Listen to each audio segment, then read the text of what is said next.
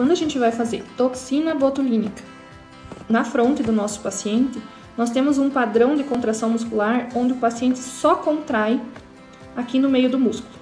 Ou seja, quando eu peço para o meu paciente fazer o movimento de elevar as sobrancelhas, ele quase não sobe a caldinha da sobrancelha e ele faz bastante ruga aqui no meio do músculo. Para eu ter uma aplicação efetiva de toxina botulínica, eu tenho que bloquear aqui essa região onde ele tem essa movimentação.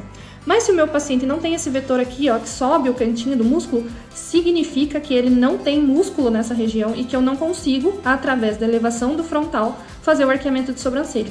Esse padrão de contração chama central.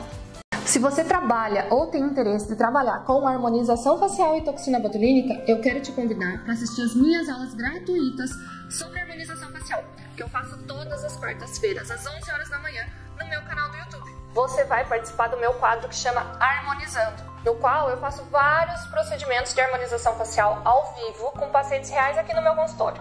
Você vai aprender tudo o que você precisa saber sobre ROF, sobre toxina botulínica, sobre preenchedores, para ter sucesso na sua carreira como harmonizadora. Todo o conteúdo é 100% prático e eu vou explicando tudo que eu vou fazendo ali ao vivo para você. E você também pode tirar suas dúvidas diretamente comigo ali pelo chat do YouTube. Super legal, né?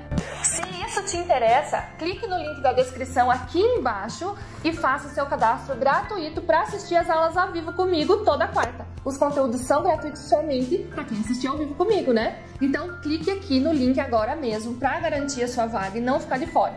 E não se esqueça de ativar o sininho para receber as notificações dos próximos vídeos. Beijo!